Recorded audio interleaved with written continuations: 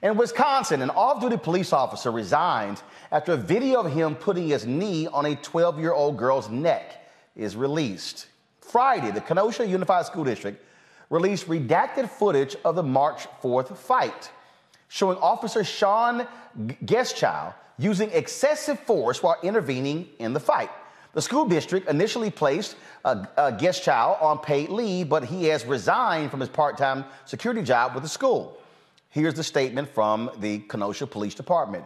We continue our investigation, paying careful attention to the entire scope of the incident.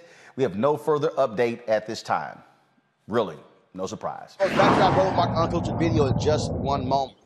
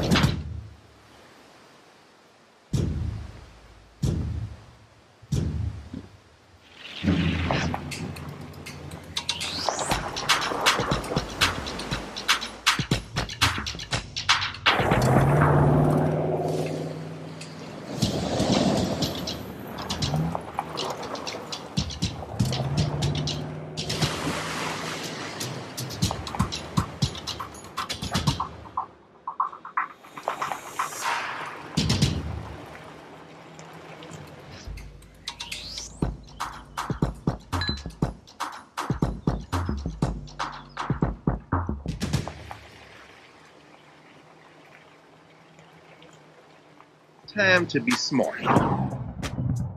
Roland Martin's doing this every day. Oh, no punches! Thank you, Roland Martin, for always giving voice to the issues. Look for Roland Martin in the whirlwind, to quote Marcus Garvey again. The video looks phenomenal, so I'm really excited to see it on my big screen. Support this man, Black Media. He makes sure that our stories are told. See, this difference between Black Star Network and Black owned media and something like CNN. I got to defer to the brilliance of Dr. Carr and to the brilliance of the Black Star Network. I am rolling with rolling all the way. Honored to be on a show that you own. A black man owns the show. Folks, Black Star Network is here. I'm real um, revolutionary right now. Like, wow, Roland was amazing on there. Stay black. I love y'all. I can't commend you enough about this platform that you've created for us to be able to share who we are, what we're doing in the world, and the impact that we're having. Let's be smart. Bring your eyeballs home. You can't be black on media and be scared.